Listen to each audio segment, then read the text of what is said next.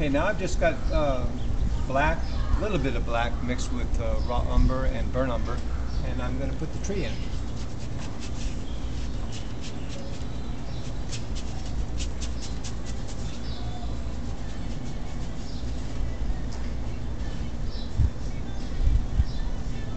Sometimes I put a little bit of liquid on the table so I can reach into it. So here we go. A sort of silhouette that tree.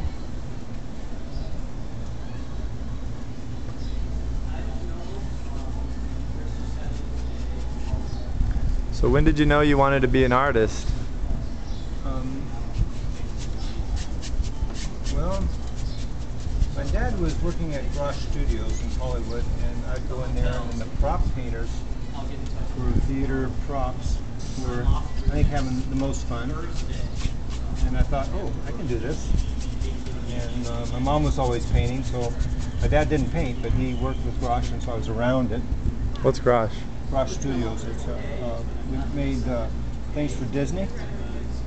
Cartoons? painted props, backgrounds for thea- theaters, uh, did turntables, some of the first turntables for Disney. Uh, Walt Disney would come in and, and uh, my sister Maureen would be working there and, and uh, I would be welding and, and not really getting any of the fun stuff done. So it was nice to see that the company works with a lot of fun people like Disney. So I thought, you know, something I'd like to do.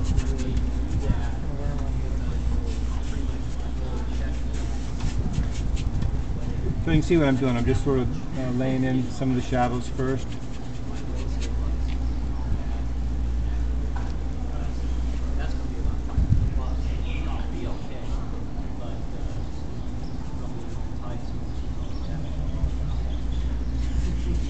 Because I've lost my sketch, I want to sort of uh, take the time to, to actually get a nice sketch going. We have a branch coming out here, probably about that thick. And I'm, I'm gonna try and go off. This is a jacaranda tree. Has a lot of uh, long, lengthy branches. And later I'll bring in the other uh, branches with the flowers and leaves on it. Okay, I don't need to finish this to show you what's going on. You can pretty much see that I'm going to paint this tree.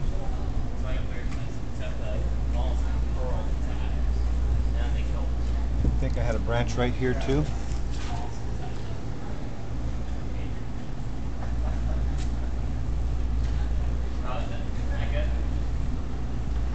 I'll make sense out of all this stuff later.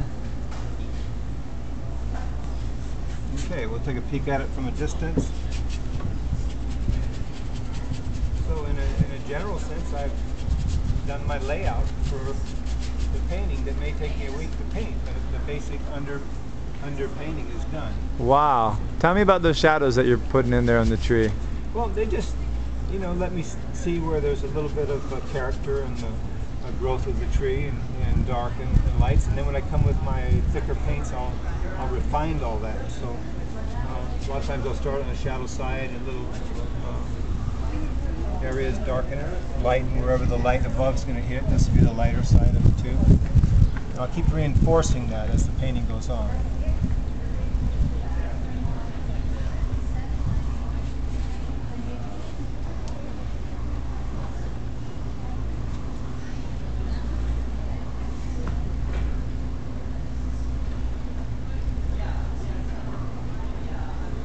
So what have we learned so far today?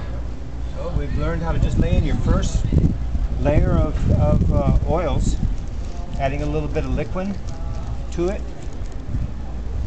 and not being too worried, just doing it and getting up there having fun. Now I have a little branch here. I wasn't sure where I connected it, but let's say I'm uh, sort of going out here. We'll make it somewhere in there.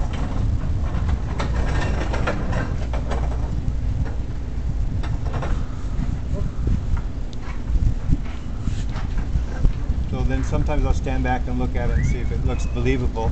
If it doesn't look believable, I change it. All right. Let's take a peek and see what we think. The only thing I'm gonna do before I finish tonight, you might not see it on this tape, is I'm gonna put some yellows and reds in here where there's gonna be some uh, flowers and things. And then let this dry overnight with the liquid, and the liquid should get it dry within about 30 hours, hopefully. All right. Well, thank you for teaching us all that. See you next time.